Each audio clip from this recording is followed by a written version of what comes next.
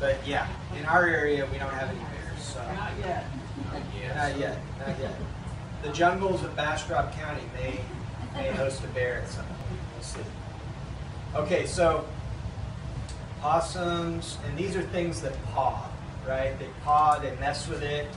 Possums, raccoons. I'm losing one here. Foxes. Skunks. Skunks, yeah.